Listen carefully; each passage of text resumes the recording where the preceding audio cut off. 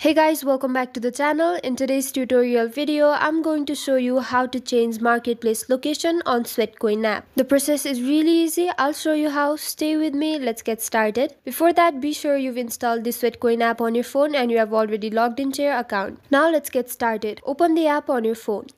You'll see this page on your screen which is your home page and on this page you'll have to tap on the bag icon right besides home page icon and at the top you can view your current marketplace location. To change this location, what you'll have to do is tap on the change option besides your current location. And from this list of countries, you can select your new marketplace location. For me, it's going to be United Kingdom. So tap on the country name. After that, tap on confirm country selection.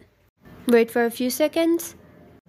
And as you can see, we've successfully changed our marketplace location. This is it for the tutorial. I hope it was helpful and don't forget to like the video and subscribe to the channel for further tutorials. Thank you.